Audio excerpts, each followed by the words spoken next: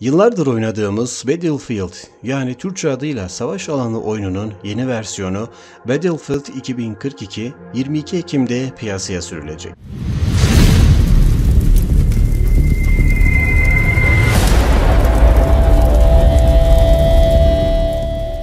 Electronic Arts tarafından çıkarılan bu oyun tüm platformlarda aynı anda şu an bütün piyasaya ön satış olarak sunuldu.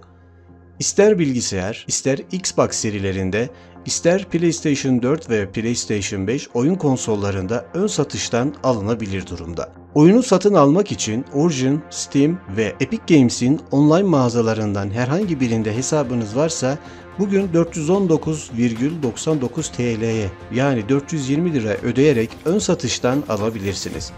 Ancak hemen heveslenmeyin. Çünkü bilgisayarda oynamak isteyenler için 3 seçenek sunulmuş. 420 lira olan sürüm temel sürüm. Gold Edition sürümü var bir de. O da 600 TL ve Ultimate Edition ise 800 TL. Bu oyun sektörü nereye gidiyor böyle? Demekten de kendimi alamıyorum. Çünkü bu fiyatlar ön satış fiyatları.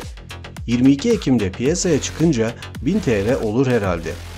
Unutmadan konsol fiyatları ise 500 TL'den başlıyor. Bilgisayardan daha pahalı bildiğiniz gibi. Ancak bilgisayar fiyatları da konsol fiyatlarına yaklaştı.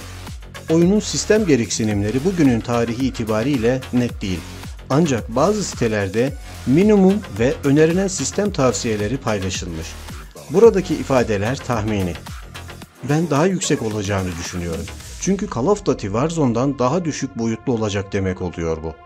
Call of Duty Warzone 124 GB olduğuna göre bu da en az 100 GB olacaktır.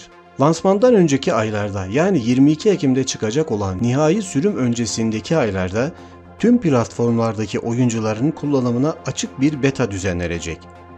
Battlefield 2042 sürümlerinden herhangi birine ön sipariş verirseniz açık beta'ya erken erişim elde edeceksiniz. Kısaca oyunu herkesten önce siz oynayacaksınız demek. Battlefield tarihinde ilk kez 128 oyunculu topyekun savaşa aynı anda katılabilecek devasa bir alan inşa etmiş. Dünyanın dört bir yanında yer alan bu devasa savaş alanları daha büyük ölçekli savaş hissini verecek derecede yenilenmiş bir tasarım ortaya çıkarmış. Bunu resmi sitesinde yayınlanan en son çıkan oyunun fragmanında da görebiliyoruz. 13 Haziran'da yani yarın da oynanış videoları yayınlanacakmış. Merakla bekliyoruz. Ama bunun öncesinde yayınlanan fragman gerçekten harika olmuş. Film tadında olan bu tanıtım fragmanını birlikte izleyelim.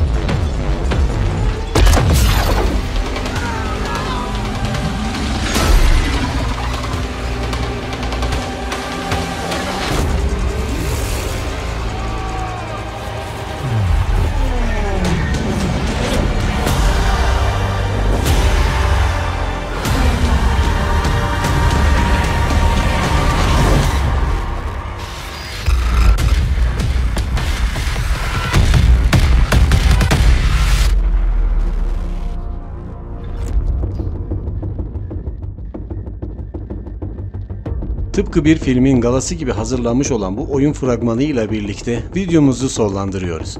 Başka bir videoda görüşmek ümidiyle. Hoşçakalın.